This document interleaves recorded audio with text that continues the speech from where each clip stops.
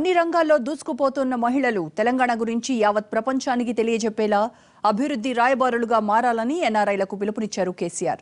ప్రపంచ తెలుగు మహాసభల్లో పాల్గొనడానికి నలభై రెండు దేశాల నుంచి వచ్చిన ప్రతినిధులకు ముఖ్యమంత్రి ప్రగతి భవన్లో విందిచ్చారు.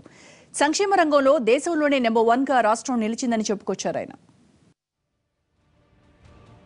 చైనాలో ఆర్థిక సంస్కరణలు తెచ్చిన తర్వాత వివిధ దేశాల్లో స్థిరపడిన చైనీలే మొదట అక్కడ పెట్టుబడి పెట్టి ఆ దేశాభివృద్ధిలో కీలకంగా నిలిచారని తెలంగాణ ఎన్ఆర్ఐలు కూడా ఇదే వరవడి ప్రదర్శించి తెలంగాణ అభివృద్ధిలో భాగస్వాములు కావాలని సీఎం కోరారు. తెలంగాణలో జరుగుతున్న అభివృద్ధి పనులను కార్యక్రమాల్ని భాషా సాంస్కృతిక రంగాల్లో చేస్తున్న కృష్ణ ముఖ్యమంత్రి వారికి వివరించారు. ఉద్యమ సమయంలో తెలంగాణ ఎలా ఉండాలని కోరుకున్నామో ఇప్పుడు అదే విధంగా తెలంగాణ దూసుకుపోతుందన్న కేసీఆర్ పెట్టుబడుల అవకాశాల్ని వివరించారు. కేవలం పదిహేను రోజుల్లోనే అనుమతులు ఇచ్చే అవినీతికి ఆస్కారం లేని పారిశ్రామిక విధానం అమలవుతుందని చెప్పుకొచ్చారు. తెలంగాణ గురించి యావత్ ప్రపంచానికి చాటి చెప్పాలని తెలంగాణ బిడ్డలుగా మీ కర్తవ్యాన్ని నెరవేర్చాలని ఎన్ఆర్ఐలను కోరారు. తెలుగు మహాసభలకు వివిధ దేశాల నుంచి వచ్చిన ఎన్ఆర్ఐ ప్రతినిధులకు ప్రగతి భవన్లో విందు ఇచ్చారు ముఖ్యమంత్రి. ఇక్కడికి ఇన్వెస్టర్స్ చాలా తరలి వచ్చే విధంగా మీరు ప్రమోట్ చేయాలని చెప్పి నేను కోరుతా ఉన్నాను.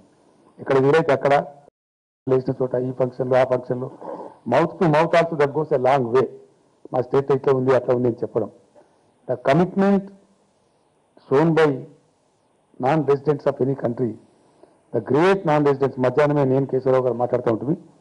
Chinese have shown that kind of a love to the motherland Deng Xiaoping ఎప్పుడైతే న్యూ రిఫార్మ్ మొదలుపెట్టి ఒక transition తీసుకున్నాడో when he started a first SEZ in China the first people to go there were non resident Chinese వాళ్ళు వెళ్ళి మొట్టమొదటి వాళ్ళు convince అయ్యి కొంత వాళ్ళు ఇన్వెస్ట్ చేసి ఆ తర్వాత పూర్తి తర్వాత అన్ని దేశాలు కూడా వాళ్ళ అంబాసిడర్స్ లాగా పోయి ప్రమోట్ చేస్తే today we see what kind of China is before us అద్భుతం.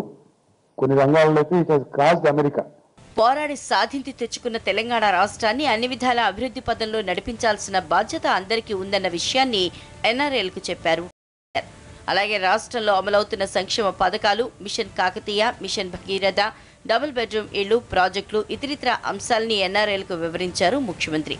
అభివృద్ధి జరుగుతున్న తీరు ప్రపంచానికి చెప్పి తెలంగాణకు ఎక్కువ పెట్టుబడులు వచ్చేలా కృషి చేయాలంటూ వారికి విజ్ఞప్తి చేశారు.